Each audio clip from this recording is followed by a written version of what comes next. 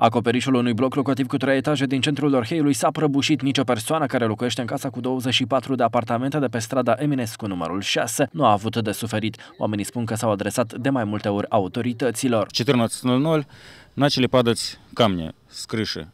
Мы неоднократно обращались еще, начиная, наверное, с весны этого года или даже с прошлого года, с 2014 года обращались в ЖЭК, а именно господину Гаршти и господин Макану.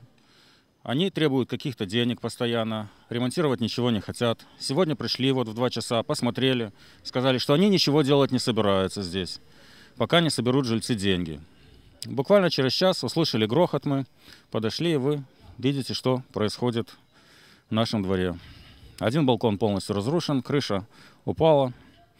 А представители ЖЭКа, господин Гарсия Макану, сказали, что они ничего делать не собираются. Могли бы быть и жертвы, да. Хорошо, що так. Este ora că noi trebuie să aducem copiii de la grădiniță. Este imposibil. A fost uh, ruptă un apeduc de gaz, este scurgeri de gaz, pană. Este imposibil de respirat aici, nu se poate de... Adică de venit acasă copiii, dar nici nu poți, că poți să aibă un șoc, că nu o să vadă așa ceva. De nenumărate ori ne-am adresat, că nu este posibilitatea de a strânge bani, de a acumula noi cu sursele noastre financiare proprii, deoarece mai mulți locuitori din această casă, casa este veche, are vreo 60 de ani, nu locuiesc mulți locuitori, majoritatea sunt morți sau sunt plecați și nu mai este nimeni. Momentan, iată, vedeți, se petrece în spatele nostru un dezastru.